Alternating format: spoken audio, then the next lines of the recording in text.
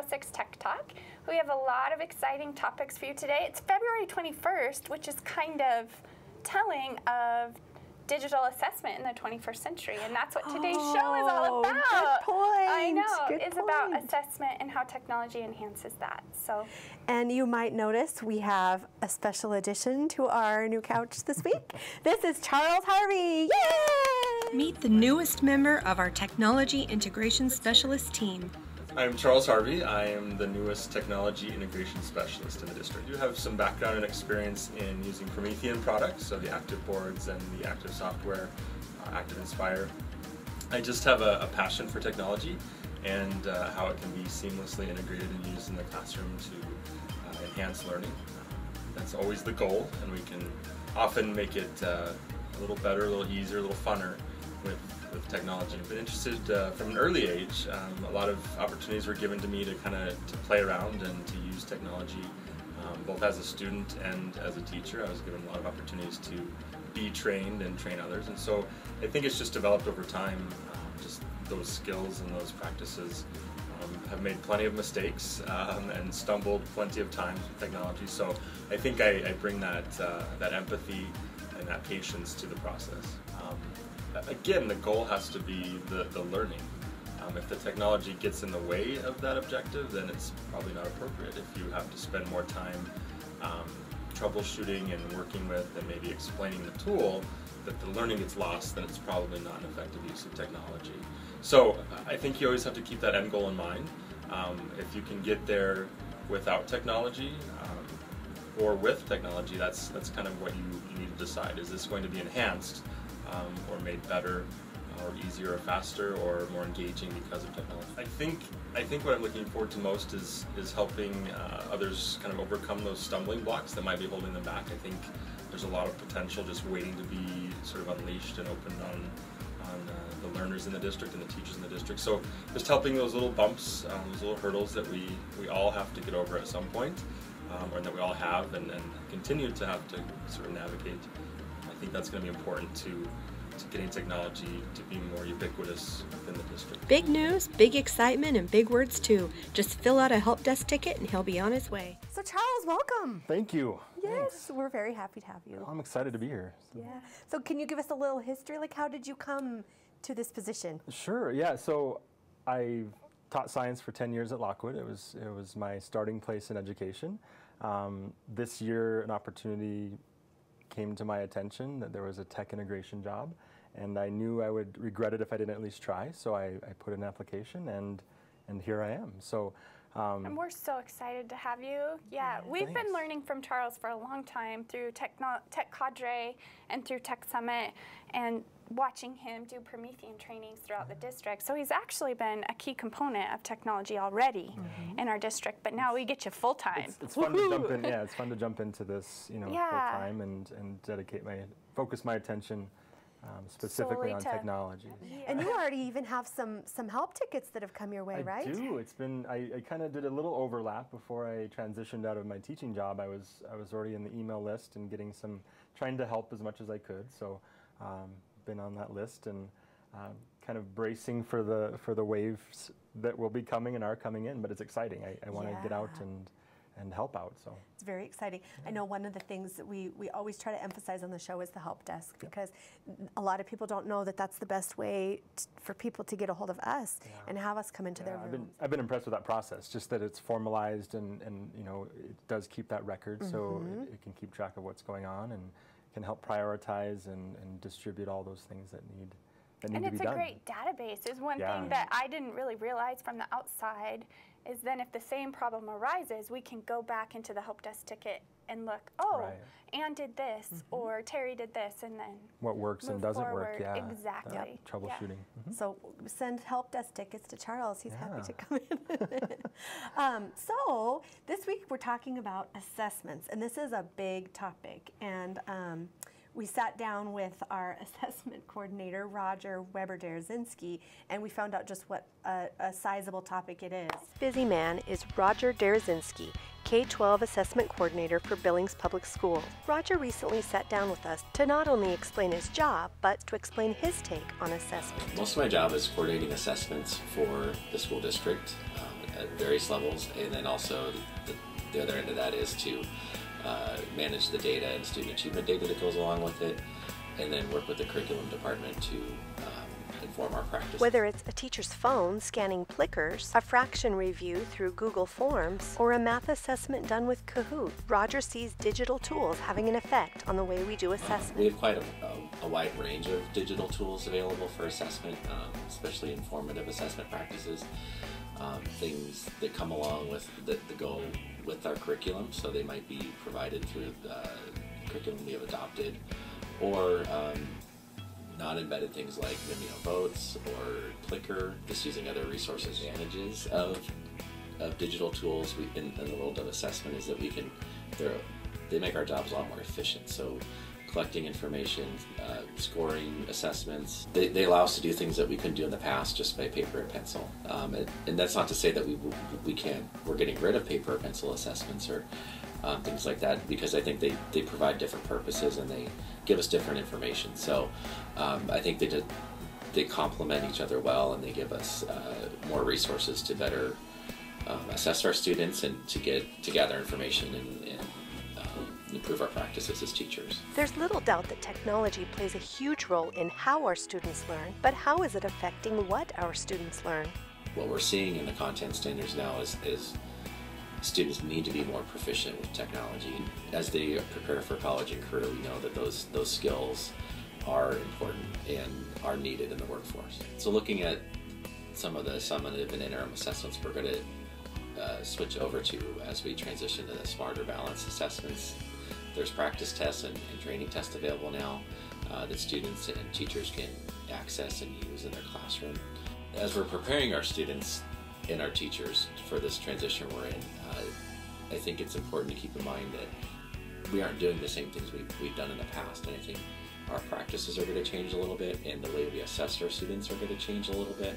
And I think um, the more you're familiar with with those changes, and you can adjust your instruction to meet some of those changes, but really it's it's all being guided by those those common standards we have adopted. Clearly, digital assessment tools have a place in today's education. In preparing for the Smarter Balance assessment, not only will teachers be helping students to prepare for their futures in college and career, but the formative assessments we use in the meantime will help guide us to become better teachers. So there's two type main type of assessments that we do as teachers, right? Mm-hmm. Wouldn't you say? Mm-hmm. The formative and the summative. And one thing I've realized as a parent going into parent teacher conferences is nobody explains to the parents what it is. Mm-hmm. Right. So I would love for you to pretend I'm a parent with no educational background and explain to me the difference between formative and summative and how it's useful. Sure. Um, I'll take formative. Sure. Formative assessments I used a lot in my class. Formative being with the root word form in there, oh. help you to oh. form what you're teaching. Okay. So you might it might be just a really informal little um, check for understanding type. yeah, exactly. Okay. And it, it, helps you to form the way that you're going to proceed with the next mm. steps. Whether the kids need a, a redo on a lesson or whether they it's time to move on. But it helps you to really just form the way that you're going to do your instruction. And so um, one of the things that I did a lot in my class was a weekly assessment for our new reading program last year. That I didn't put it in the grade book. I didn't. I didn't use it as any kind oh, of okay. a um, marker for them mm-hmm. against them or for them. But it really helped to guide my instruction on do my students understand this concept? Do they not have it yet? And then maybe I need to go back and spend more time on a certain concept or cool. carry it into the next. So, week. what's your favorite technology tools for the formative assessments? Wow, that's a really tough question. Yeah, in, in my classroom, I was fortunate to have response devices, so okay. those were a quick way to grab. Right. Um, to grab some right. information or some data. Right. Yep. Um, and I know in our district fly. we have a lot of student response systems. Mm -hmm. We've got the Mimeos, we've got is it called ActivInspire? Yeah, What's the student response? There are active votes and then active, active expression and expression twos. So there's okay. the three in this series of, of response devices with Promethean. But there's some other ones that we'll talk about a little later on that we have found recently. Yeah. Um, I used Google Forms a lot actually because it's a it's a way to um, push out a survey to people. You can send it to email or mm-hmm. you can put it out and publish it on the web. But mm-hmm. I actually created some assessments using a Google form. Right. And when the students would respond or submit their answers, it would come to me in a spreadsheet.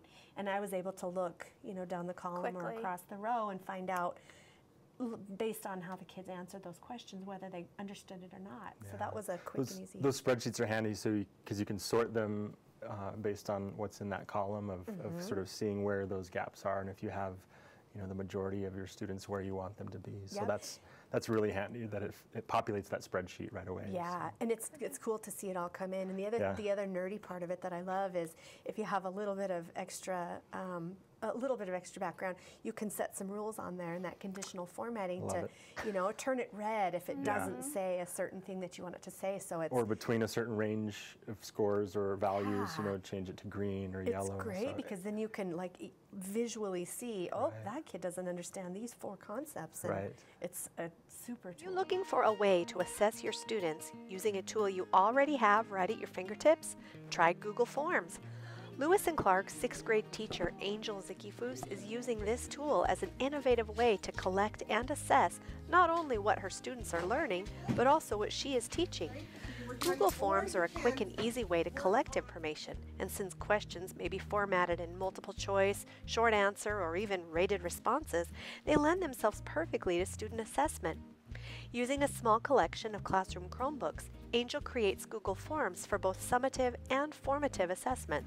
Well, basically, all they do is say, here you go, send it over to you, bye bye. On this particular day, Angel's students were completing a fraction review. When her students submit their completed forms, the data comes to Angel in a spreadsheet, which she can instantly analyze. This has proven to be quite a time saver, and in more ways than one. I like the immediate feedback. I like that I know how they did um, quickly, and that I am able to, I don't have to sit and grade papers for an hour. Uh, it's easier for her to just look on my computer instead of grading a bunch of papers. It takes less time. Well, it's neater handwriting and then I don't lose it. Well, I think it's easier than writing everything out. While there seems to be quite a consensus that using Google Forms for assessment just makes things easier, Angel has found a lot of value in using this type of digital assessment. So we use it formative with our Do the Math. We use it formative with our um, sixth grade common assessment. I also use it as a summative, so I use it always. When Angel compares using Google Forms to some of the other methods of digital assessment, she sees it as a great alternative. I think it's excellent. We've tried Socrative, and there's just a lot of glitches with it. So I think Google Forms is actually a, a more reliable way to, Students to do it. point out one more benefit of using Google Forms. You could do it at home on your computer and stuff, if you have.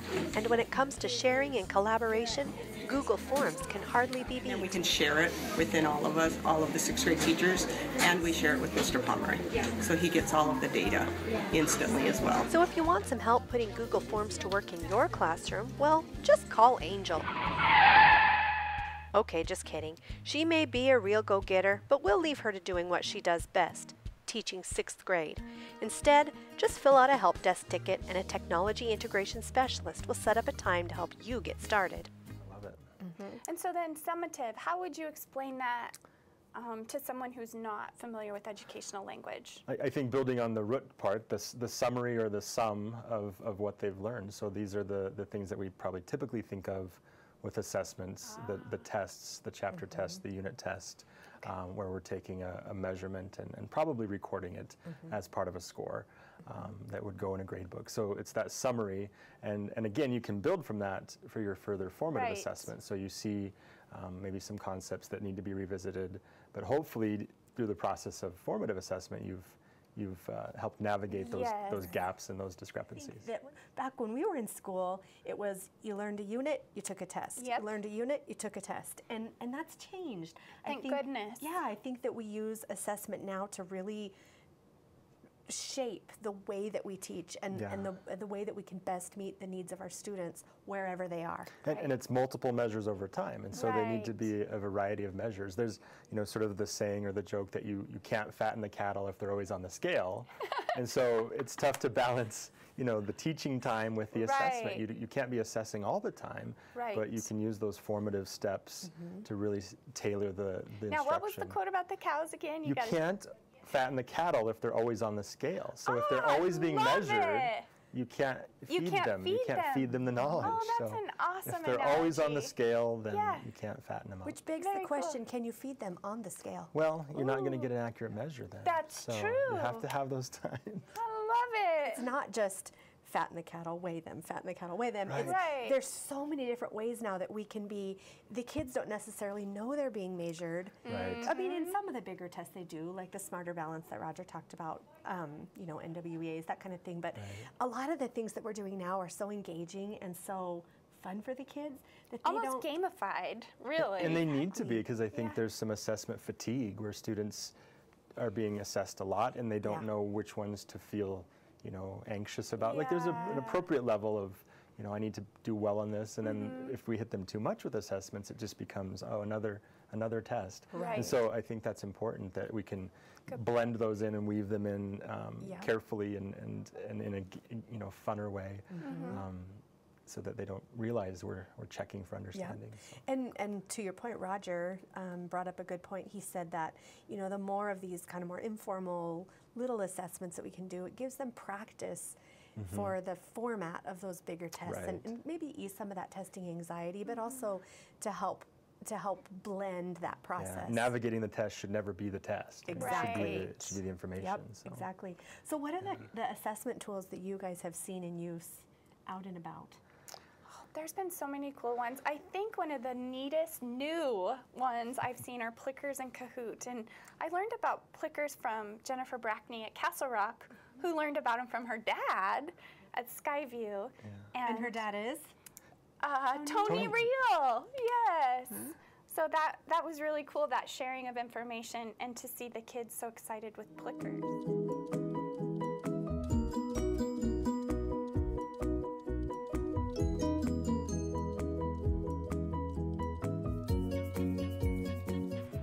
If you have an Android or iOS enabled smartphone or device, some paper and a printer, and a desire to know what your students understand through formative assessment, then you're ready for Plickers.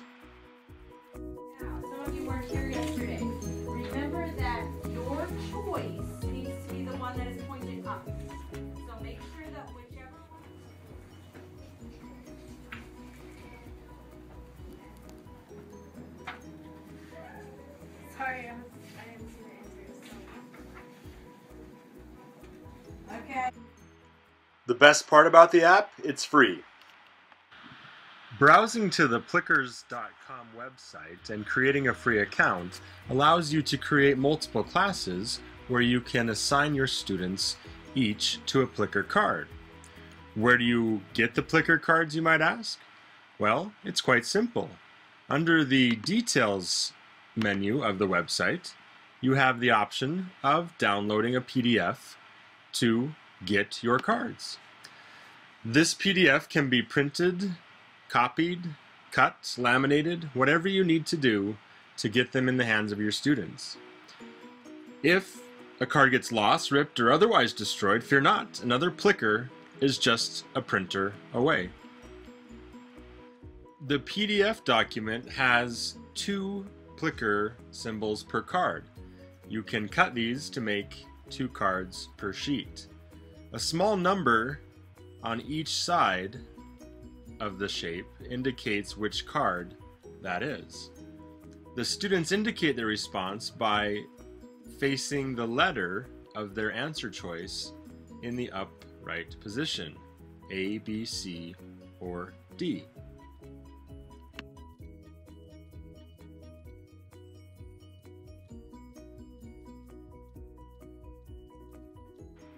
With their plickers in hand and answers ready to share, Mrs. Brackney's students show her their cards indicating their answer choice. She simply scans the room with her camera and the Plicker app and collects their responses. She can view these on her phone and on the website later. Um, what other kinds of uh, assessment tools have you used? Uh, I've used Socrative, um, which is a, a website-based assessment. Um, they've added some features in the recent past with being able to add images. That was a, a user request and, and they listened. And so you can add images. And um, I've given tests other ways and given the same test using Socrative, and student engagement is higher. Um, they like the way the questions slide off the screen and they can choose those things, uh, multiple choice or respond. There's a lot of the um, online social learning environments that have built-in assessments, like um, Edmodo, uh, Schoology, so those are, mm-hmm. are great too. Mm-hmm. Absolutely. What about what were some of the things that you and your high school background? What did you use? Well, a lot of the bring your own device systems like Socrative was a big one just because every high school student seemed to have a cell phone. Mm-hmm. And the same is happening at Castle Rock across the board because those kids can bring their own device and the, ki- the teachers and students are really embracing that. Um, one of the things we talked about when we were sitting down to discuss assessment was the ExamView. And could you? I, I, I can. So ExamView is a, is a software suite um, by the company eInstruction. And uh, a lot of times you may not realize that you, you have a copy. I, I stumbled upon uh, a copy earlier in, in my teaching career and, and tried it out. And it's just a great um, assessment authoring um, software where you can write tests. And then uh, what is nice is the output can be paper, just the traditional paper test.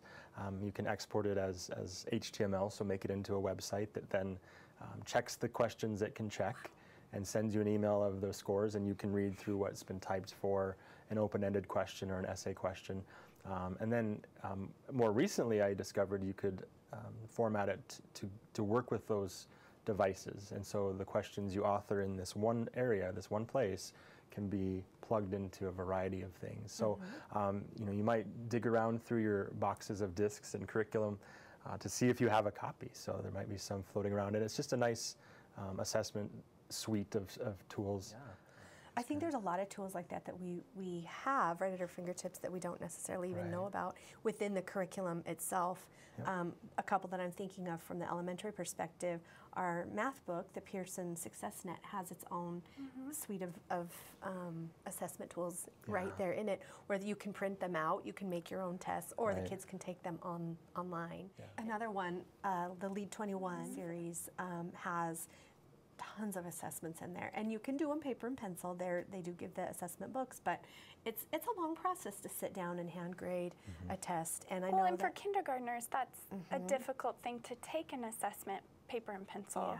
when And they're then- just learning yeah, their they look a little formation. different from grade to grade. You know, as you get into the upper grades, the the kids are, are more easily able Writing to. and- mhm, But some of the the um, younger grades, even the second grade, I was doing with a class yesterday, and it will actually it has audio that Oh, goes with it, so the cool. kids click on the word that has the sound that's being read to them. Nice. So, the, you know, getting that digitally, each Mhm. kid is getting an assessment that they can hear. How individualized, where before that would require a teacher going to all Right. Yep. 25 kids. I think that's awesome. It's a lot about um, kind of right and wrong answers, but I think technology really lends itself to amazing project based learning assessments, which I think is extremely powerful and, and one thing we've all used, you know, where your kids are creating videos or they're doing something else. So I think technology has enhanced that leaps and bounds where it used to be a poster Yep. or a drawing Yeah. or a Yes. skit and now it's like whoa all, All the these levels. creations Yep. Levels of to depth, reflect on the learning which i think is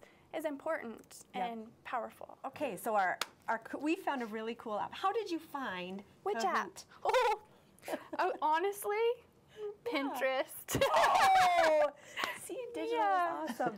So, can you explain Kahoot? Sure. So Kahoot is is kind of like Socrative and the game with the colors that when we were little. Simon. Yeah, Simon. All into one. 30 plus 40.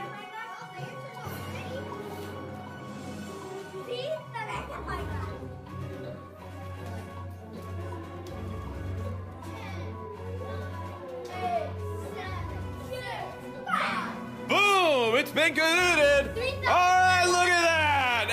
Every single. Well, we had one person do 50. That's all right. Great job.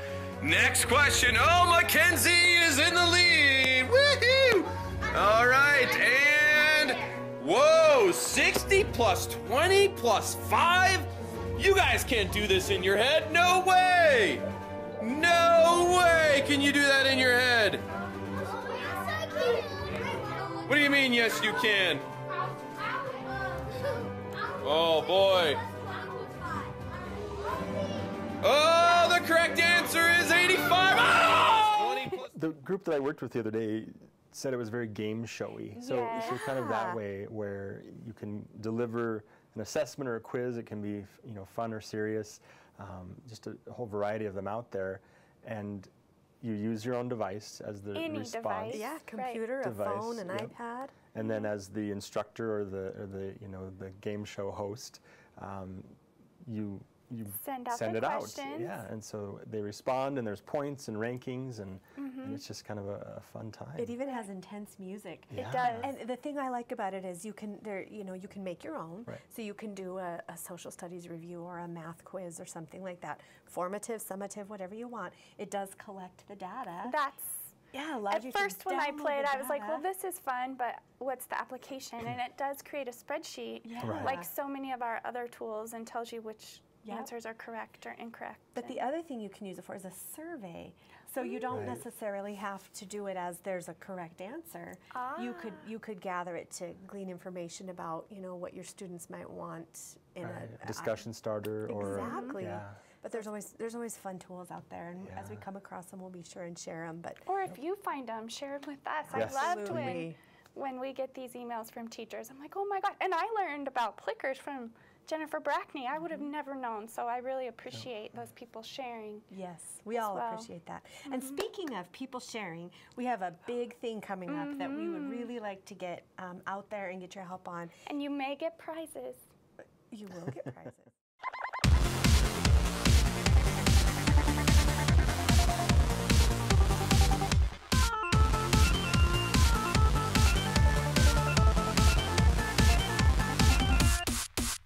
Everything is awesome. Everything is cool when you're part of the team. Everything is awesome when we live our dream. What we're doing is kind of a, a conference style showcase of, of teachers all over the district using It's like a school carnival, only educational. That's how I think of it. technological. Um, Yeah. Teachers have the opportunity to present on any any digital tool or resource that they want, Right. and then we'll do it's 30 minute rotations with Mm-hmm. 15 minute passing periods. So um, definitely come out. Everybody will have an opportunity to come out and see digital tools and resources put into use. But if there's something that you're doing in your classroom that has really had an impact on students and you would like to share it, you can submit an application to present. It's 30 minutes. You would do it once in the morning and once in the afternoon, and, and think of how many people could benefit from that. And we'll be there, and all the cool people will be there. and we'll have vendors there from, from different products that you mm-hmm. can Apple. yeah, all test drive over. things mm-hmm. kind of. We'll have a technology petting zoo, so if you want to touch and feel an iPad or a Chromebook, Yeah. we'll have those there for people to be able to. A lot of fun. It'd be Yep. great. So please consider presenting or helping out. Yep. So what's our next show? I think we're going to give some tips on how to organize your digital life. And what do you mean by said topic? Possibly some bookmarking tools, ways to organize your your drive, lots of different things we could cover. Excellent. See you later. Have a great week.